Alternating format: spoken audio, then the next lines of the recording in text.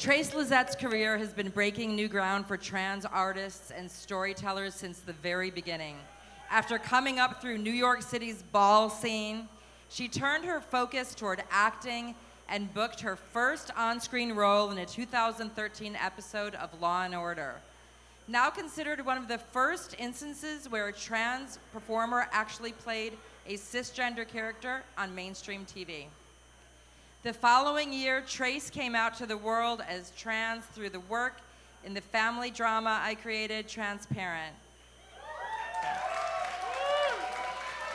In the decades since, she has left her mark on television series like Pose, Drunk History, an amazing turn in a great movie, Hustlers, and of course, the eye-opening documentary, Disclosure.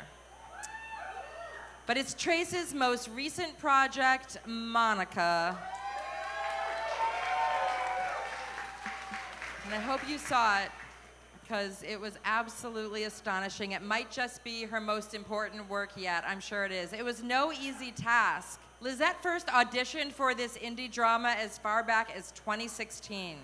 And after getting the part and signing on as an executive producer, she fought for it every step of the way getting the financing, scheduling delays through the historic premiere at the Venice Film Festival, where I saw this on Instagram.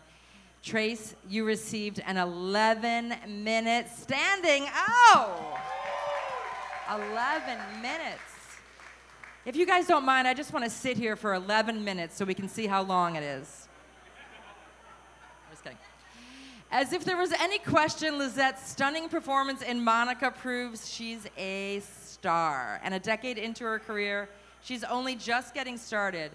I am so proud. I am so proud to know you. We are so proud of all you have accomplished. And I am so thrilled to present with you, to you the Groundbreaker Award at the